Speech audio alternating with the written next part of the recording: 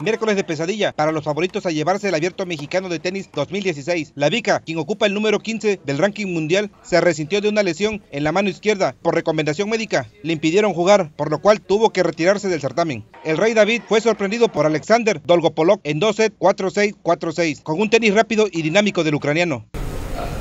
A, poner eh, la derrota por culpa del, horario, porque ese día la organización decidió el número uno iba a jugar de día, pues bueno, la organización, la ATP, no sé quién puso ese horario, pues si ellos lo vieron bien, no tengo nada más que decir. Respecto a la derrota, no fue por el horario, ni mucho menos, fue porque el contrario fue en el juego estelar hacía su presentación el japonés Kei Nishikori, enfrentando a Sam Querrey de los Estados Unidos, partido disputado en la cancha central. Sam fue agresivo desde el inicio del juego. El japonés poco pudo hacer ante los servicios de Querrey, quien lo doblegó en 2 sets 4-6, 3-6. De esta forma, los favoritos a llevarse el guaje y la pelota de plata quedaron fuera de dicha justa.